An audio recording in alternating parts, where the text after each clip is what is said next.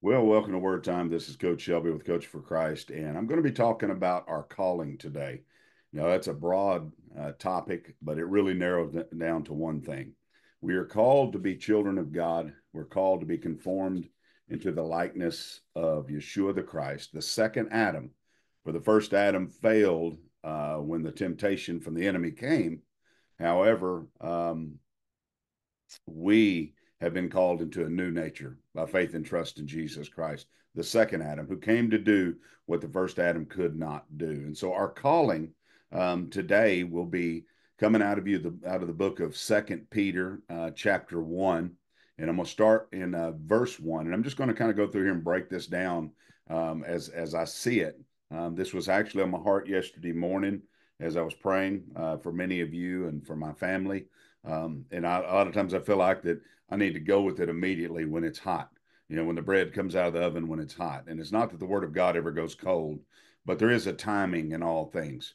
And sometimes I wish I just had time that when these uh, words were just uh, on fire, if you will, as they come out of the oven, that um, I would share immediately. Um, not for you know for my benefit. We enjoyed that benefit here. We we had fresh manna, fresh bread, but it's kind of like sometimes I feel like you guys get the leftovers and it's not quite the same the day after. But nevertheless, let the word of God speak to you and let the word of God um, um, do what the word of God does in your life. Now, this letter uh, by Peter, as we know to be written by Peter, is basically you can take this to the body of Christ.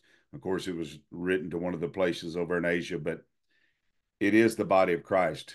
And it, it is a general letter to us and how to conduct ourselves and and how to to live out our calling, if you will. And that's just what comes to my mind.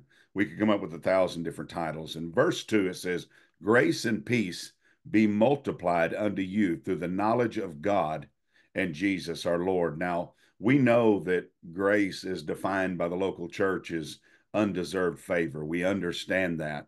But if you went a little bit deeper and you you went to the book of Titus, just taking that first word grace, in the book of Titus tells us that grace teaches us to deny ungodliness. That right there is a whole mouthful, uh, yet a whole heartful. That kind of debunks the theory of just basically saying, I'm going to get undeserved favor. God's going to give me favor that I did not deserve. Um, and I could come up with a lot of words there, but I'm trying to keep this lesson to the point of what I'm talking about. But grace is an understanding, okay? It is an understanding that God's word, who is his son that became flesh, that Yeshua seated on the throne of the born again believer's heart, the government of God in your life. And you also have to understand this grace and peace. So let's put those two together the Lord will give you peace that passes all understanding. I think it's Philippians 4 and 6 that says, Make your requests be made known unto God. And the peace of God, which passes all understanding, will encompass your heart and your mind. And I'm pointing here, but I'm really talking about the peace that's within your spirit, the born again man. So, grace, unmerited favor, the government of God in you, the rule of God, and peace, peace that is not a worldly peace. Um, because if you look at the world, you go, there is no peace. And many people say, well, God is a God of peace. But you got to understand that God came, Yeshua the Christ, the Word became flesh to bring you peace with God, that the wrath of God would not be taken out upon you. That's what peace is. Not peace with the world, peace with God, because our whole life was anti God, anti Christ. Therefore, grace and peace Grace is the understanding of the government, the rule of God in your life, according to the word of God of in your life, according to the King of Kings and Lord of Lords that rules on the throne of your life. Now, many people, and I do think rightly so, are waiting for the opposite of this, the Antichrist, to set upon the throne on the Temple Mount and proclaim himself as God, thinking that they will notice the works of the devil according to what the Bible explains will happen. But what they do not realize is that this is also a type and a shadow as well as as well as something that will happen that that that the enemy is already setting up on the thrones of men's heart. If you have not watched um, some of the the governmental stuff, and I'm not uh, you know saying to, to watch it, I'm saying pray for them, but some of the stupidity and the demonic agendas and the senselessness of not even being able to answer a question. There's no wisdom, there's no knowledge, there's no understanding. The, these leaders have been heaped up upon a, a, a, a nation who has chosen to forget God. They chose to honor God with their lips, to go to Sunday service. They chose to put a dollar in the offering plate, to do something just to try to secure the eternal destination in heaven, but they have no desire to live under the rule of heaven, which is the government of God in our lives, which is the grace and peace with God that only comes through his Son and his rule in our lives. Grace and peace be multiplied. I like that word multiplied unto you through the knowledge of God. How? Through the knowledge of God. Knowledge. I want you to look, take the first part of that word and to know God. The Bible tells us in John 17, 3 that eternal life is to know God. Let me read that to you. And this is eternal life, that they may know you, the only true God, and Jesus Christ, whom you have sent. To know God. And so multiplied unto you through the knowledge of God. So the grace and peace is multiplied unto you. The government of God becomes reality in your life because you know God. You spent time with God. God is seated upon the throne of your heart. The, the knowledge of God, intimacy with the Lord, and of Jesus our Lord. So we understand that, that grace teaches us to deny ungodliness. The peace that passes all understanding gives us peace with God, not with a world that is opposed to God. Certainly not with a world that Ephesians 2 says that Satan is the God of this world. How can we have peace with such things? We have peace with God. And because of this, in our allegiance and where we stand, it is multiplied unto us through the knowledge, through the intimacy, through knowing God. Does that make sense to anybody? And in verse 3, I want to go on with this. It says, according as his divine nature hath given to us all things that pertain to eternal life and godliness, through the knowledge of him, there's that word again, that hath called us to glory and virtue. Now, to the divine nature, the divine nature of God.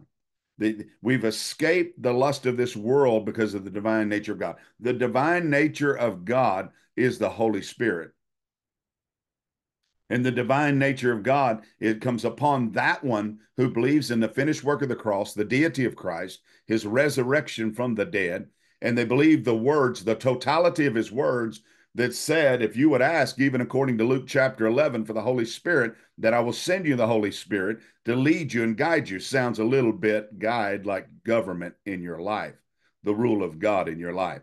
See, you're not going to go to heaven. There's many people that think that they're going to go to heaven because they profess Jesus as Lord, but they have no desire for who he is. They profess him and his title, but they don't know him, nor do they desire to know him. Because when you move into God's place, or let me turn it around, when God moves into your house and begins to rule from the throne of your heart, as Satan is doing in many, when that happens, you no longer get to do what you want to do. You don't roll your own. You don't make your own decisions. Those that are sons of God are led by the Spirit of God. They're not leading God, God is leading them. And we know this according to the Word of God. So, according as His divine nature, His Holy Spirit, that has come inside that one who's repented and put his trust in Yeshua the Christ, and then he does what Jesus says. He has a, a life of, of asking, seeking, knocking, and continuing to find the presence of God in his life, continuing to spend that time in the presence of God. And according as his divine power hath given us all things that pertain unto life, his divine power, his, his divine power, virtue, healing power. I'm kind of getting ahead of myself. Has given us all things that pertain unto eternal life, given us all things that pertain into eternal life and godliness through the knowledge of him who hath called us to glory and virtue. Now, through the knowledge of him, he's given us eternal life through knowledge of him. The knowledge of him. He is the word of God. Let me say it again. All things that pertain unto life and godliness through the knowledge unto life. He has given us all things that pertain unto life, eternal life. You see, this is the pervert that comes in and turns this into a materialistic blessing that God desires you to have things. No, God desires for you to have Him. Let me say that again. God does not desire for you to have things. God desires for you to have Him. That's what it means to know God. That's what it means when it says, according as His divine power, His Spirit, His rule, His government, His grace in your life, the peace that passes all understanding, because it makes no sense in this world. His divine power has given to us all things that pertain unto life. He's given us all things that pertain unto life. He has given us what we need, even his son, Jesus Christ. He has given us the Holy Spirit. He has given us the Word, who is Jesus Christ. He has given us all these things that, that help us to pertain unto life and godliness through intimacy, through knowing him that hath called us to glory and virtue. Now, the word glory brings to my attention reputation, honor, and absolute perfection. Well, we know who that points to. But we are to imitate him. And we are to be changed, Second Corinthians 3:18, into his image, into his moral likeness from glory to glory. So the word for glory brings up the word reputation. What is your reputa- reputation, brother? What is the reputation of the one you claim to serve? Does anyone even know the reputation of the one that you serve? And has his reputation gotten on you? Has it bestowed the honor of God, to honor God, to fear God? A wise man fears God. Does, does his reputation on you as the absolute perfect one, the glorious King of kings and Lord of lords, does this govern your life in every facet of your being? Because I'm going to tell you this that if you turn your back on God when tragedy comes, and it will come, and has come, and will come again, then you never understood who God was, nor did you ever know God. You see, I find it amazing when people say, Well, I lost a loved one and uh, I used to go to church all the time and now I don't want nothing to do with church because God took them. You see, there's the evidence they didn't know God because God is the one that said, Is appointed unto man once to die and then the judgment of God. It is, it is God who said, To dust thou art, and dust you will return. Why is it a shock and a surprise when someone does exactly what God said they would do. Yet you claim you believe the deity of Christ, but you believe not any word that he has spoken. So, unto life and godliness, the knowledge of him that hath called us to glory and virtue. Now, virtue, what is the word for virtue? The word for virtue is ad. Now, I don't want to take that. Minister. The word that comes to mind is minister, servant, virtue, power. Okay. So to, to, to sparing no expense, power, action, virtue. You see that there's a flowing of the one that is filled with the Holy Spirit of glory and of virtue. To minister, to serve, to virtue, the power to serve, the power to present the word of God the, the, the power to take action. You see, because if there was no power there, then that's because there's no faith there. The releasing of faith brings power, whereby in verse 4 are, are given unto us exceeding and great, exceed, I'm sorry, exceeding great and precious promises, that by these you might be partakers of the divine nature I said that you may be partakers of the divine nature, having escaped the corruption that is in the world through lust. Let's do it again.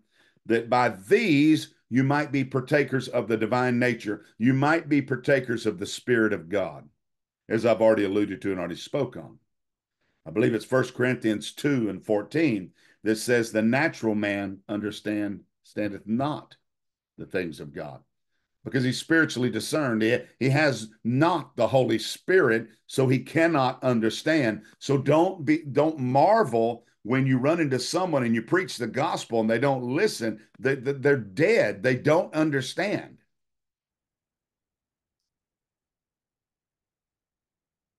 And so the Bible says that wherever I'm at here says in verse 4 partakers of the divine nature, partakers of the Holy Spirit.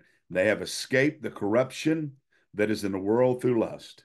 The only way to escape the corruption that is in the world through lust is to be led out by the Holy Spirit and to be led by. It does not mean that you'll be absent from the world, but you're not a part of the world. You are not of this world, for your kingdom is another kingdom, even the kingdom of God. For the Bible says, and and, that, that that Yeshua said, I believe it's in uh, Luke 17, 21, somewhere in there. Uh, don't quote me, look it up, Google it. That, that the kingdom of God is within you. The rule and government of God is within you. It's not in this world that you're looking at these beautiful mountains and the streets and all that and all the evil corruption that Satan is the prince of the power of the air. It's not there, it's within you. Greater is he that is in me than he that is in the world.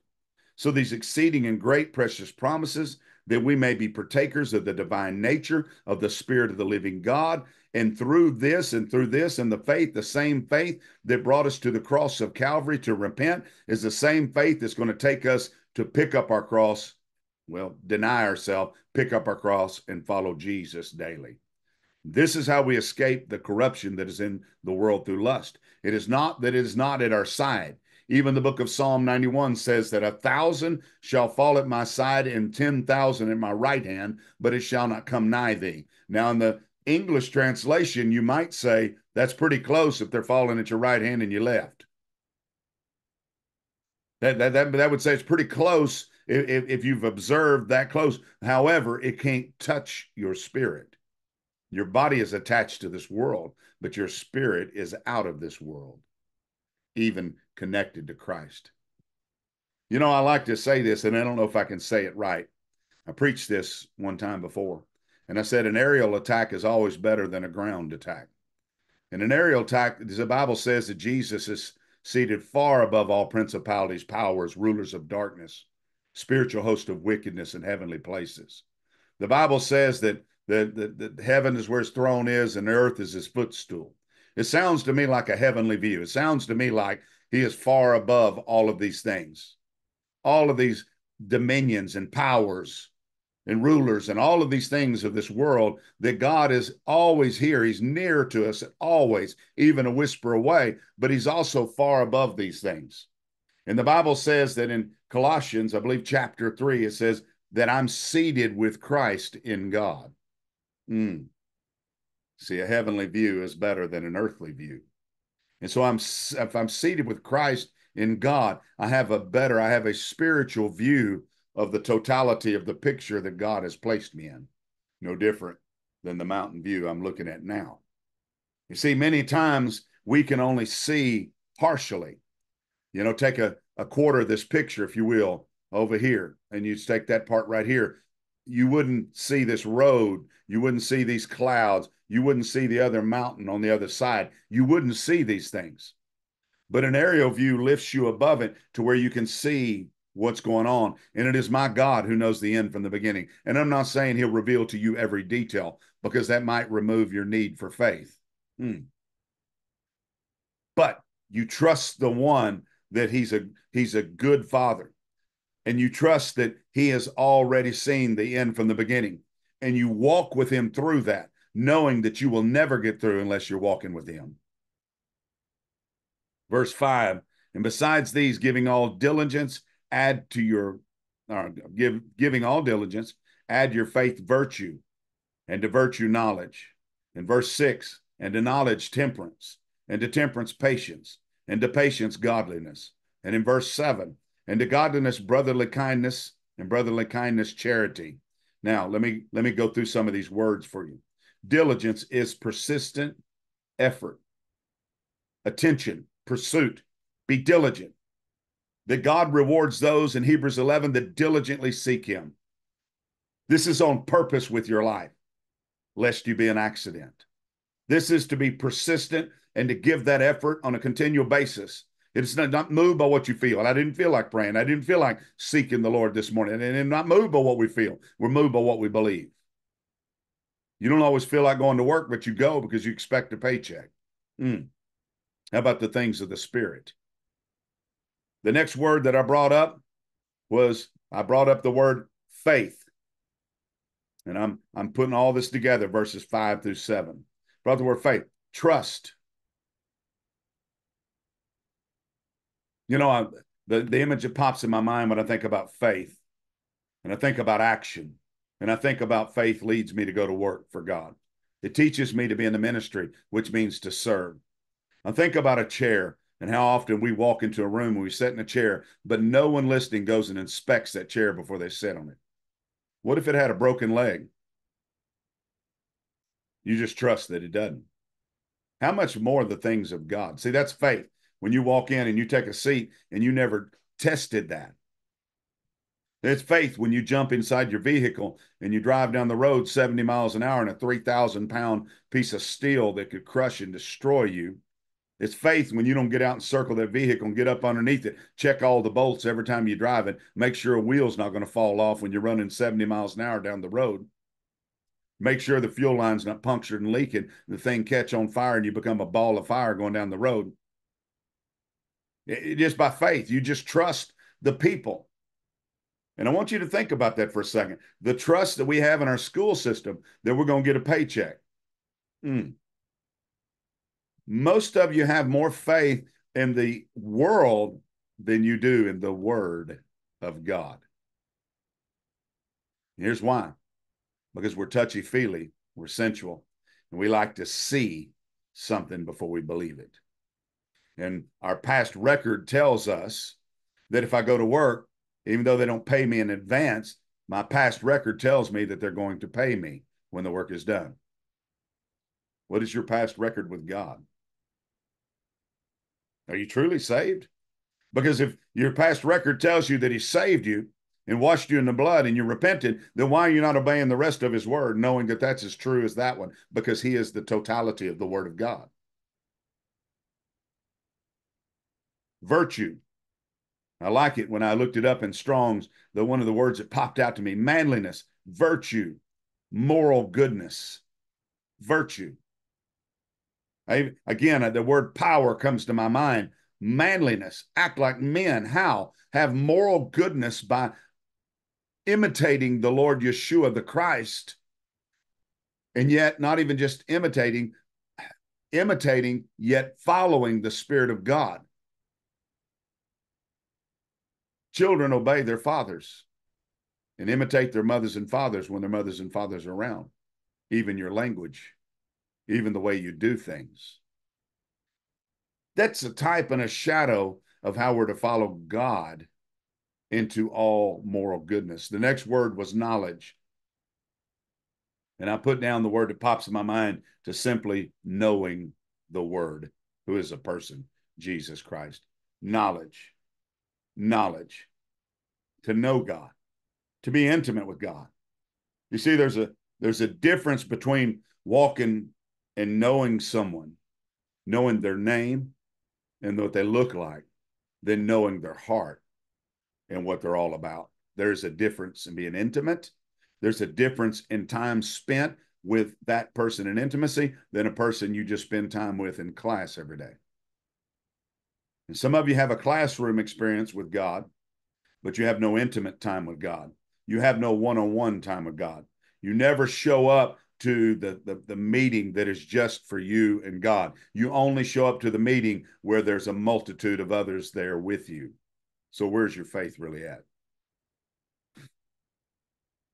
Temperance, self control.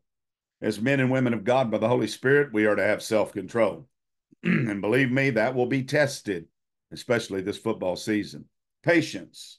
The word that comes to mind for patience is endurance. The Bible says, without endurance, that no man will make it. Jesus said it this way, I believe it's in Matthew 24, that the man who endures to the end shall be saved. I know y'all know about endurance when you're having a hard time making it, your legs are hurting, your breath and your lungs are coming out your mouth. You understand a little bit about endurance, but the Bible demands endurance. In other words, it might be painful at times, but keep pressing towards the mark of the prize of the high calling of God in Christ Jesus. Keep on keeping on. Brotherly kindness. The Bible talks about in John 17, it says that Jesus was praying to the Father and he says that they, that would be you and I, brothers and sisters that are believers, would be one as the Father and Yeshua are one. And then we would be one in them. How can that be possible? Only through the Holy Spirit. only through the Holy Spirit. And then the last word I brought up um, out of that text of verses five through seven is charity, which means love. Now, I want to say this about love love is not always deemed as love by those who are weak spirited. The natural man is weak. The natural man tries to find all kinds of accolades and things in this world to bring attention to himself because there is no gratification or fulfillment in the spirit. He's weak spirited. He's not connected to the Spirit of God. This describes many that go to the gatherings. And I don't like to say this, but it's the truth. It's the truth. We've reduced down uh, the love for God as to love the benefits of God, but not to love the person of God. What are the benefits? And there are benefits. There are benefits. He is health to our flesh and strength to our bones. He is who He is. He will prosper us even as our soul prospers. There are many benefits to God. God's not a, a, a, a derelict father, He's not a slacking father. He's not a, a father that doesn't pay attention to details. He's not a father who allows things to slide under the rug or to be swept under the rug. But the love of God compels us to preach the gospel. And I made a statement this week, and I heard this, man for those who made it this long are the faithful. So I know I can say this now. Actually, wasn't brought to my attention till just now. I wouldn't really care either way. But I was driving down the road and I see for years, not just in my community, but in, especially in other communities. I was down in a place called Waxahachie, and um, I've been to a lot of places, and I'm just bringing up names, not not I have any place in mind. But when we see these building constructions going on and the building funds, constantly, even in the midst of the, the highest inflation rate we've ever had. And if you guys don't pay attention when you vote, I'm going to say it. You ain't seen nothing yet. You better go for an American that has a plan to help you there. Without repentance, our nation won't be saved. However, in the meantime, you might have enough money to eat. I'm just going to leave it right there. Okay. So that charity, love, is not always received as love by weak spirited men. And as I was driving, as I was saying, hadn't forgotten what I was talking about. I see all these building funds and these beautiful, fancy buildings. And I see all these these churches, if you will, that have two or three services on Sunday. And that's excellent, great. Maybe. But the thought that popped in my mind, maybe it's just me, early morning, maybe it's the Spirit of God, said that would we need bigger buildings if the true gospel was being preached? Would we? Why don't you try it? That's the only way to answer this. I'll tell you what, our church turns over about every couple of months. What does that mean? There are people that have been there that have been faithful for years. But the ones who decided they're not going to be faithful, who don't want to hear the message of the blood and the cross through repentance, which is the only way you can be saved and born again. And I'm not talking about a one time come to the altar deal forever. I'm talking about daily repentance, being led by the Spirit out of those things that are pulling you away from the Spirit of God. If, if, if that's not being preached, then you have a false gospel. It's as I've said last week, you're eating your dessert before you eat your nutrients. You're going to be malnutrition. You may be bigger than a Goodyear blimp, but you're going to be malnutrition. You're going to swell up. But that ain't, that's not nutritious. That's not healthy. And so, would we need more buildings if we were preaching repentance, the blood, and the cross, and teaching the Holy Spirit's desire to lead us and our obedience to Him? Would we? Probably not. And Jesus, I'm just sitting here, came into my mind. I was sitting here listening. And the woman at the well, uh, she said that you Jews worship in the temple and we worship here on this mountain. And she's talking to the Lord. And he said, Woman, there's a time coming that that uh, man will neither worship there or here, but God is spirit, and they will worship, be worshiped in spirit and in truth. We're in that day. We're in that day for some. Some are still de- depending on the building fund and they love the light shows and the smoke shows and all that. But what if we take all of that out and we just preach the word of God? The way God preached it, the way the apostles preached it repentance, the blood, the cross. What if? I think it's pretty safe to say in this nation, there'd be no need for another building. Am I saying that I am 100% right in every case across the world? No, I'm not. I'm just saying the multitude. We're building buildings, but we have not built the foundation. We have not poured the foundation into their lives. We have not spoken of repentance. We've not addressed sin. We've not addressed our need for holiness. We have not we have not addressed sanctification to separate, come out from among the world. Though we are in the world, we are with God going through the world and we don't we don't deviate from the word of God. We haven't done that. So until we've done that, then I'm going to tell you people are going to be held accountable for what they've done with God's money because they've done nothing for God. God said, You honor me with your lips, you honor me with your buildings, you honor me, you put your tithes and offerings in there, you fast, but it's all for a show or a pretense. It's all for you. If there just happened to be a pastor that would see this, I challenge you go into service Sunday morning and you preach repentance and you address sin. Why? Because it needs to be cut out and it's cut out at the cross of Christ. It's cut out when they come and they repent and we're open before God and we're honest before God about what we are and what we have done and our great need for His blood to wash and cleanse us. And we lay there in His presence until He says, Now get up, deny yourself, pick up your cross, and follow me. I pray this message been a blessing to you. I know it was a blessing to me yesterday, and I don't think, again, I articulated it the exact way that it came across yesterday when I was on fire, uh, but it's still true today. And I pray that, that God will minister this unto you. And I pray that you have a blessed day. And I pray that you guys uh, uh, will will take to heed, to heart, Second Peter chapter one this morning. In Jesus' mighty, mighty name.